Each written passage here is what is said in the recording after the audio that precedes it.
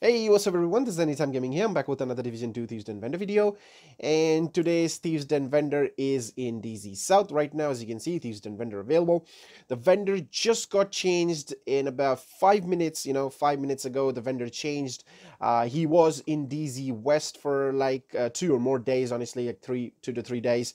Um, I did make the video today when the daily reset happened. I went there in DZ West and he was selling the Black Friday um, LMG. Yes, I know most of you guys wanted the Black Friday, but it was only there for one hour, guys. And I'm really sorry I can't do anything. It is what it is.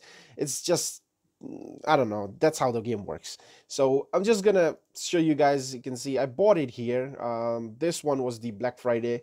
Uh, you can see on perfectly unhinged jazz hands and protected reload. This this was on sale. Um, you know on that vendor.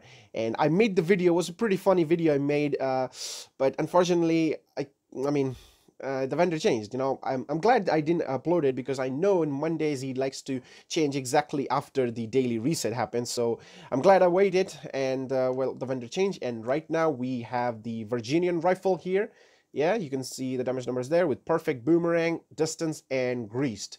So this is um, this is here for today, and it's going to be here for the rest of the day, I guess, because uh, the vendor just changed. So you have 22 hours if you want, you can buy it. Right, so next we have ongoing directive backpack with 8% crit chance, oh, sorry, crit damage, 9,527 health, 20% skill haste, talent is capacitive, Next, we have True Patriot Backpack with 7.5% uh, crit damage, 12,429 armor, 291 skill power, and talent is hard hitting. And next, we have uh, Hardwired Gloves with 83 skill power, 7% SMG damage. Next, we have Negotiate Dilemma Holster with 9,139 armor on kill, 300 skill power, and next we have Tip of the Spear knee pads with 6.5% crit chance. And then we have Aces and 8s knee pads with 6.5% crit chance. And then we have the Tactical Vector SBR uh, with measured, stable, and cannon. You can see the damage numbers there. And next we have military MK17 rifle with optimized, um, accurate, and cannon. And next we have Badger Tough uh, vest with 10,897 armor, 8.5% total armor, 17,203 health, 337 skill power.